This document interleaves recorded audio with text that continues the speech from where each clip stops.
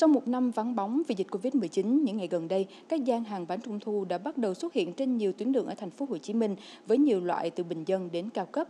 Trên các trang mạng xã hội, hình thức bán online cũng được đầu tư quảng bá. Theo nhiều công ty và cơ sở sản xuất, thời điểm này chủ yếu khách hàng đặt hàng để tặng biếu, một số ít mua về để thưởng thức, ghi nhận của phóng viên HTV.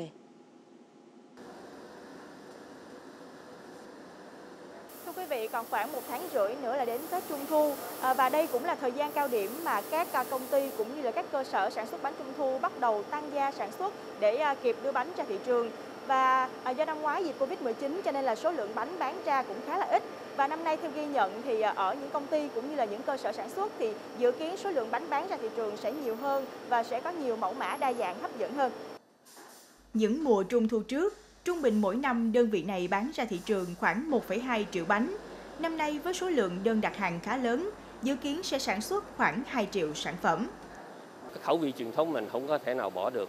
Thành ra là mình phải đưa theo một số sản phẩm mới nữa. Là các sản phẩm mới thì phù hợp cho thế hệ trẻ. Chẳng hạn là hoa đậu biếc phô mai, đẩy mạnh về các phần nông sản của Việt Nam là thanh long, thanh long phô mai.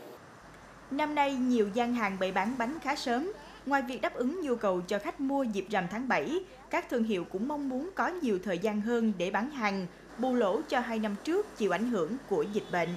Mua á, là anh này về dùng thử, dùng thử nếu mà mình ok á, ngon á, thì mình à, mua cho tặng bạn bè. Quan tâm nhất là cái chất lượng, giá thành, cái giá thành nó có ok thì mình mua nhiều mình tặng cho bạn bè. Xem là xem giá nó có phù hợp không, với lại chất lượng như thế nào. Bởi vì năm nay bánh trung thu giá nó cũng leo thang lắm. Chia sẻ về tình hình giá cả tăng cao trong thời gian qua, để thu hút khách hàng, các đơn vị sản xuất cũng cố gắng kiềm giữ giá.